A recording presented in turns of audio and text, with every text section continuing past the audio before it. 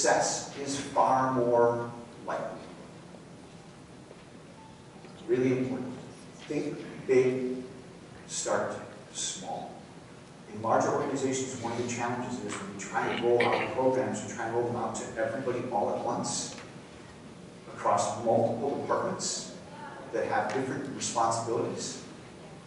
What ends up happening is, if it's successful, it is absolutely lowest common denominator.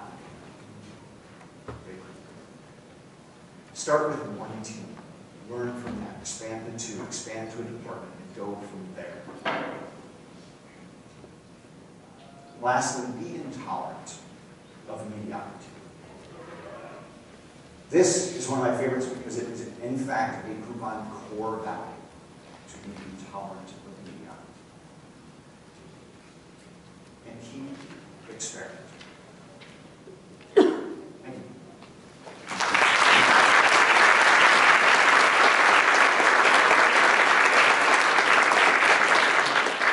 I think we are officially one minute over.